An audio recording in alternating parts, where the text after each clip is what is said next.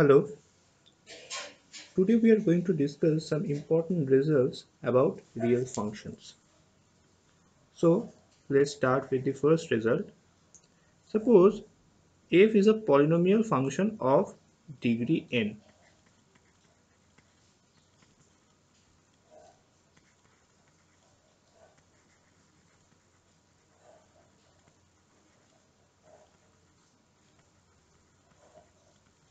function of degree n. Okay? Which satisfies f of x plus f of 1 by x is equals to f of x multiplied by f of 1 by x. Okay? Then fx is equals to 1 plus minus x to the power n where x is not equals to 0.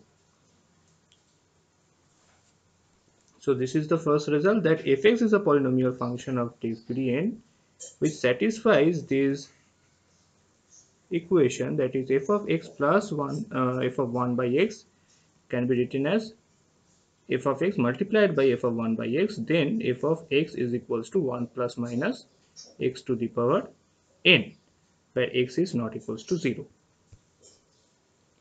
Now come to the next one.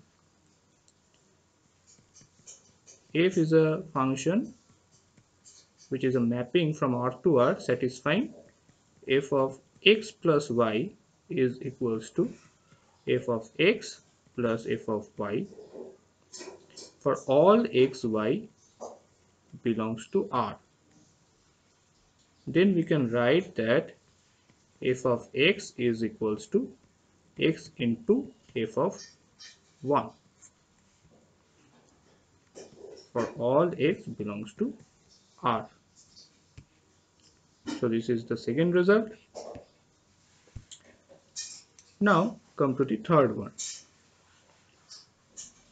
Suppose f is a mapping from R to R and it's a real function given by f of x plus y is equals to f of x multiplied by f of y for all xy belongs to R such that f of x is equals to f of 1 whole to the power x for all x belongs to R. This is the third result. Now with an example, we try to understand these results more clearly. So let's, let me take, first of all, let me take another color here. Yes. Okay. So example one. Let f be a real valued function satisfying f of x plus y is equals to f of x plus f of y.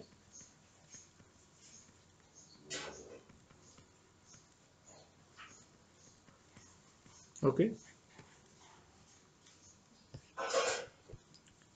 And f of 1 is equals to 2 then we need to find the value of sum over k equals to 1 to n f of k. Okay. So let's try to solve this problem. Solution.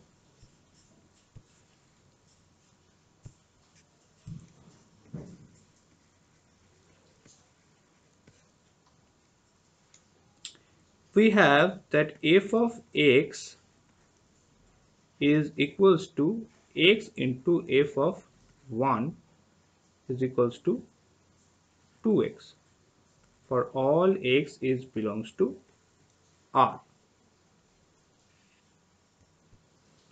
We can find this by the second result that if f is a function which is a mapping from R to R satisfying this equation then f of x is equals to x into f of 1 and by the questions we are given that f of 1 equals to 2 therefore x into f of 1 is results in 2x now sum over f of k where the value of k is 1 to n can be written as sum over 1 to n 2k okay we replace fk by the value of fx.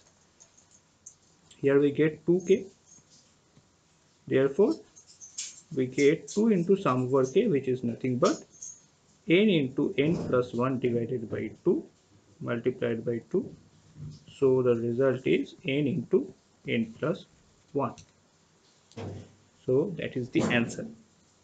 And that's all for today. Thank you very much